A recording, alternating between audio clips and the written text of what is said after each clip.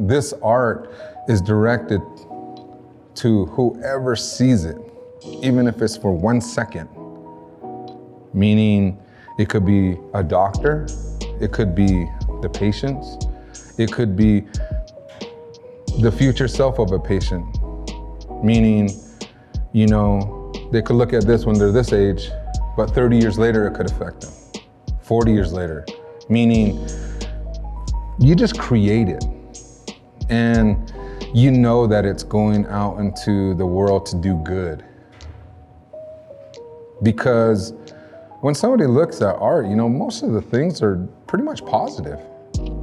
Somebody puts just one mark on a wall, somebody looks up there and they're just like, oh, that looks like this and that, you know, like their minds go.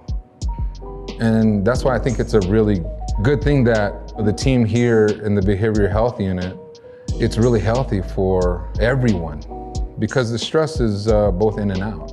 You know, everyone's focused on what they're doing, and what they're doing could be painting a mural, or it could be uh, making sure that this place is very clean and spotless, and that the angles on these uh, doors and stuff are right.